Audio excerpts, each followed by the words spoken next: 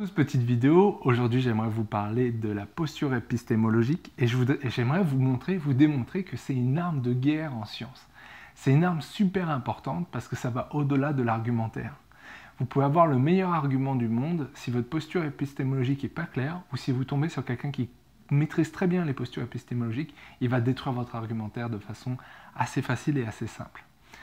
La science, c'est comme tout, euh, en règle générale, ça ressemble à des territoires. On maîtrise des zones, on maîtrise des, parcelles de terrain.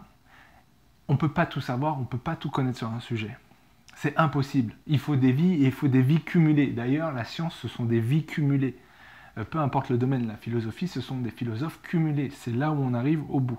Donc c'est impossible de tout maîtriser. Ce qui fait que peu importe la science que vous faites, il y a des angles morts dans, dans vos recherches. Il y a toujours des angles morts. Il y a des angles morts qu'on choisit exprès. Donc on va dire, je fais exprès de ne pas travailler sur cette partie de mon sujet, parce que ça ne m'intéresse pas, parce que je n'ai pas les moyens de collecter les données, parce que euh, ça va prendre trop de temps, et je le ferai peut-être dans une autre recherche. Donc il y a des manières de faire et de dire il y a des faiblesses dans ma, thèse ou il y a des faiblesses dans mon article et voici pourquoi. Donc ça c'est la meilleure des postures, c'est de savoir quels sont nos points faibles en matière de recherche. Et là où ça devient plus fourbe, c'est que euh, on peut vous attaquer sur votre posture épistémologique. On va faire un petit rappel rapide. La posture épistémologique, c'est plus la philosophie ou la manière, votre point de départ pour construire votre pensée. C'est un peu bizarre, mais en fait, ça permet aux chercheurs de comprendre comment vous comprenez le monde avant même de comprendre votre phénomène social. Et en règle générale, la science, ça passe par des échanges. Donc euh, moi, je pars du principe, mon hypothèse, ma théorie, c'est que les hommes sont plus addicts aux réseaux sociaux que les femmes. Alors je vais aller faire des questionnaires, je vais aller poser des questions, je vais ramasser des statistiques. Puis là, je vais faire une conférence. Et dans cette conférence, je vais commencer à parler et expliquer pourquoi les hommes sont plus addicts aux réseaux sociaux que les femmes. Un autre chercheur, qui serait dans le même domaine que moi, qui aurait la proposition inverse, viendrait et dialoguerait avec moi en me disant moi, j'ai fait des études, j'ai ramassé des données, je suis tombé sur un article hollandais puis un article suisse qui confirmait que les femmes étaient bien plus addicts aux réseaux sociaux que les hommes, et on commence à échanger. Et en fait, ce qui va se passer, c'est que ça va me pousser à aller chercher d'autres statistiques, à aller chercher d'autres données sur le terrain pour confirmer mon point. pour l'instant, ça va, c'est aussi simple que ça. Je donne un argument, il contre-argumente, je donne un argument, il contre-argumente, et ça, ça fonctionne depuis la nuit des temps. En général, les sciences, ça fonctionne comme ça. Parfois, et ça c'est idéal, donc euh, cette espèce de relation de, collaboration-compétition, entre guillemets, ça c'est idéal, ça permet de pousser et d'évoluer. Mais parfois, il y a carrément des clashs, il y a des clans, il y a des... Des fois, il y a même des sectes à travers certains penseurs, et ces gens-là, eh ben, ils attaquent. Ils attaquent les, uns et les autres, ils attaquent les arguments, ils attaquent ceci, ils attaquent cela. Et donc, ce qu'ils essayent, c'est plus ou moins de discréditer la personne. Donc, ça peut aller de euh, tu as mal ramassé tes données, ta méthodologie pas bonne, tu n'as pas lu tel auteur, ça, c'est des classiques. Ça, c'est une manière de vous attaquer aussi. Et à la limite, on peut y répondre de manière assez facile. Donc, euh, on, peut expliquer que, par exemple, cette étude est confirmée par l'ONU. On va, on va aller chercher des autorités, puis on va répondre. Là où, quand une école ou une secte de chercheurs vous attaque, euh, c'est la posture épistémologique qui est justement qui peut être cet angle mort difficile à contrôler qui peut parfois déjà nous stresser, parce que c'est un gros travail d'introspection aussi. Et c'est là, ce que je vous donne, c'est des postures très claires, mais c'est vrai que dans la vraie vie, on évolue, on change de posture, donc on peut être fonctionnaliste, et puis ensuite structuraliste, et puis même constitutif après. Il n'y a pas de règle, mais il faut quand même avoir une base au départ pour pouvoir ensuite se déplacer, où il faut au moins se donner une identité. Pourquoi Comme je le disais, il y a un territoire, votre territoire, vous devez le connaître, vous devez connaître vos points faibles, vos points forts, d'où vous venez. Et il faut que vous contrôliez très bien ce territoire-là. Parce que ce que va faire quelqu'un qui connaît bien l'épistémologie, il va vous attaquer de manière à essayer de détruire votre territoire. Et comme dit euh, Sun Tzu, comme dit euh, l'art de la guerre, le meilleur moyen de battre un adversaire, c'est de l'emmener sur votre terrain. Je fais ma conférence et moi, je suis un constitutif, j'essaye d'expliquer que les gens créent du sens de la situation, euh, je sais pas moi, de leur addiction à travers les interactions avec les gens.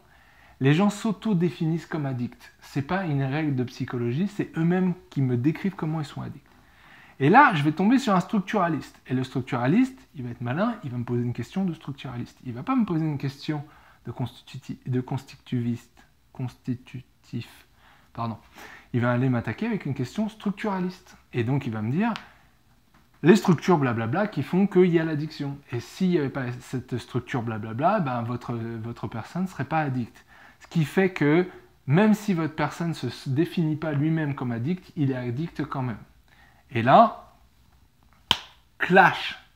C'est pas un argument qu'il me donne, c'est il m'attaque sur la manière dont je pense et je perçois la réalité. Moi, je ne crois pas en ces structures. Je crois au fait que les gens qui sont addicts se définissent comme addicts. Lui, il croit que c'est la structure qui définit si les gens sont addicts ou non. On ne pourra pas s'entendre. Et donc, il y a des manières comme ça de bloquer le débat, de coincer la situation, de provoquer la personne qui est dans une conférence, etc. Et pour ça, il faut vous défendre, il faut vous appreniez justement à connaître vos limites en termes de, posture épistémologique, pour que quand une personne vous lance une question comme ça, vous, ayez la manière de bien répondre. Ça, n'appartient pas à ma manière de faire la, recherche, ou euh, effectivement, ça aurait pu être euh, une question intéressante en termes de structure, mais je ne suis pas dans les structures. Chaque posture, pardon, chaque posture épistémologique a ses forces et ses faiblesses. Elles se valent toutes. Il n'y en a pas une meilleure que l'autre. Ça dépend de ce que vous voulez faire, ça dépend de ce que vous cherchez.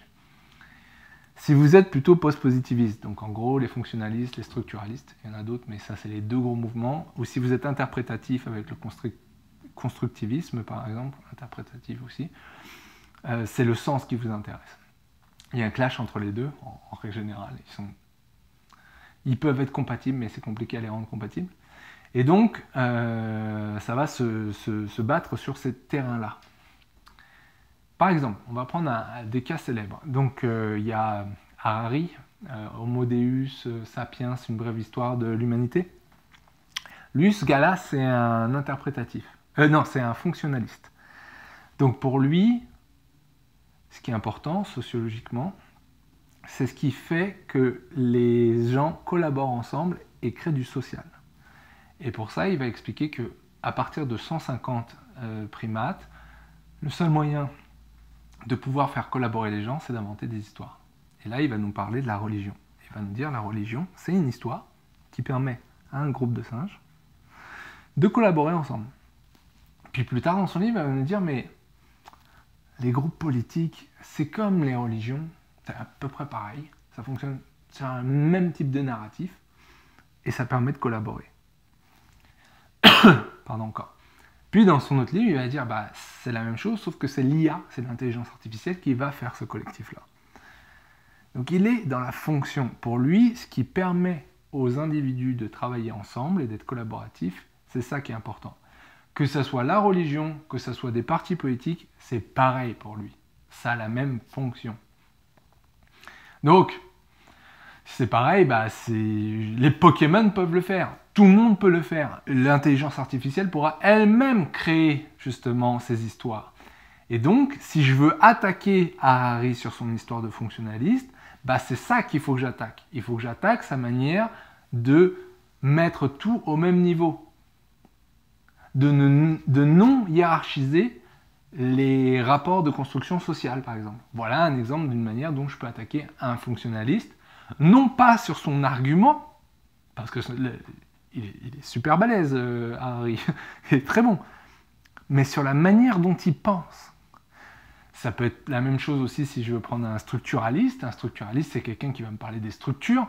Donc on pourrait prendre qui euh, Foucault, on pourrait prendre... Tiens, ouais, Foucault, on va prendre Foucault. Et Foucault va m'expliquer que euh, il y a des structures qui nous permettent de construire le savoir et que ce savoir qui est construit dans un contexte déterminé, donc l'épistémé, euh, fait qu'on pense et on construit euh, la société. Des chercheurs participent à ça, bien sûr, donc au, discours.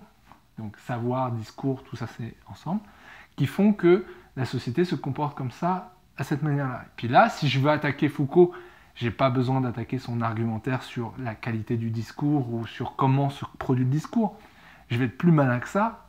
Je sais que les structures, une de leurs faiblesses, c'est l'origine. Ok, Donc si je veux emmerder Foucault, ben, je vais poser la question à Foucault. Ouais, mais ça sort d'où cette structure? Comment euh, comment c'est apparu? Comment c'est né? À partir de quand c'est né? Et là, je ne l'ai pas attaqué sur son argument principal, qui est très bon aussi, le fait que le discours soit construit à travers du savoir, mais je vais attaquer sa posture épistémologique. Vous voyez ce que je veux dire? Et ça, c'est difficile à répondre. En tant que chercheur, c'est difficile à répondre, parce qu'il faut connaître notre posture correctement, et puis il faut connaître les autres postures pour pouvoir répondre correctement. C'est malade, c'est malade, parce que si on vous attaque sur vos arguments, vous pourrez toujours répondre. Si on vous attaque sur la manière dont vous pensez et vous construisez votre recherche, c'est carrément un autre niveau.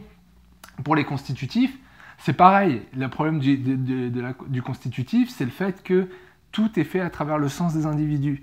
Puis si je leur dis, oui, mais dans l'alimentation, il y a des produits chimiques, et ces produits chimiques, ils empêchent de percevoir le monde correctement, et donc ils bloquent la manière dont on produit du sens. Là encore une fois, j'attaque pas la manière dont est construit le sens, j'attaque la manière dont euh, un angle mort du constructivisme n'est pas pensé. Et là, encore une fois, c'est quelque chose qui est dangereux pour la personne qui se fait attaquer par ce genre d'argument, parce que ça va beaucoup plus loin que de juste répondre à un argument euh, classique. C'est vraiment une arme dangereuse. Donc moi, ce que je vous conseille, c'est de bien connaître au moins votre posture épistémologique. Si jamais quelqu'un vous attaque sur votre, votre posture épistémologique, vous le saurez et vous apprendrez à vous défendre. Bien sûr, plus vous allez avoir de rencontres, plus vous allez échanger, plus votre posture épistémologique va pouvoir résister aux attaques.